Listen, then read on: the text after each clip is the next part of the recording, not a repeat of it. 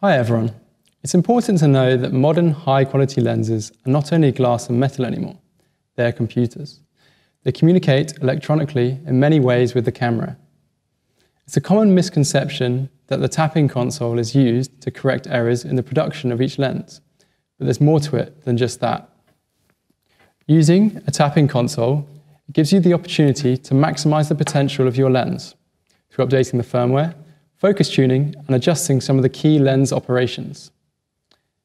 The Tap-in console can further adjust primary function of your lens, such as autofocus settings, vibration control, and the focus range limiters.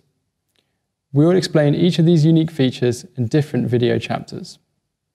To further understand the need of a Tap-in console, it's important to realize that different photographers have different needs. As an example, I mainly shoot landscape photography, and when you look at some of my recent work, you will see a lot of wide angle photographs where the focus point is at infinity. Whereas someone shooting products with a macro lens in the studio will have a completely different set of needs in terms of focus. Customizing your lens for your own requirements, together with fixing potential front or back focus on your DSLR camera, can be vital to achieving the results you desire. But firstly, you have to install the Tap-in utility software from the Tamron website.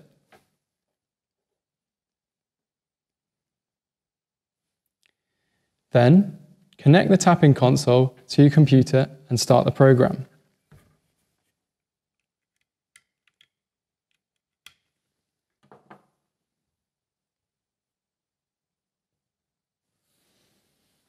After the software is running and the console is connected, attach the lens to the console. The alignment marks on both the lens and the console will help you to attach the lens. Push the Tap-in console onto the lens and turn it until you hear it click in.